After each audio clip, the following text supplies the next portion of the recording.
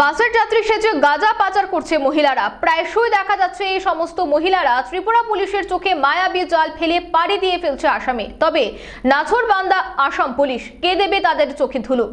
আসাম চোরাইবাড়ি ফাঁড়ির ইনচার্জ নিরঞ্জন দাস ইতিমধ্যে একের পর এক পাচারকারীদের আটক করে তার দক্ষতার পরিচয় দিচ্ছে শুক্রবার রাতে গুয়াহাটিগামী একটি যাত্রীবাহী বাস থেকে ছজন মহিলা সহ প্রায় চব্বিশ কেজি গাঁজা উদ্ধার করেছে, যার বাজার মূল্য মোট আড়াই লক্ষ টাকা হবে বলে জানিয়েছেন পুলিশ এসআই নিরঞ্জন দাস। তবে তবে যে ছজন মহিলা ধরা পড়েছে, তার কেউ গাঁজা ব্যবসার সাথে জড়িত নয়। পুলিশ জেরায় মহিলারা জানায়, তাদের পেছনে রয়েছে পাচারকারীর মূল নায়ক।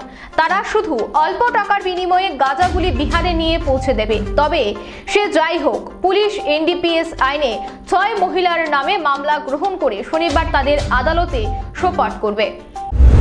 কায়দা সবসময় অনুসরণ করে, তো আজকে এদের আমাদের সন্ধ্যার দিকে আর কি আমরা যেটা দৈনিক যেটা আমরা নাকা চেক করি আর কি।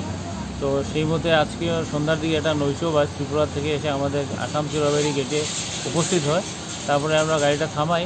থামানো হয়, থামানোর পরে গাড়িটা আমরা মহিলা পুলিশের মাধ্যমে আমরা গাড়িতে চেক করি আর কি। তো আমাদের টিম ছিল গাড়িতে।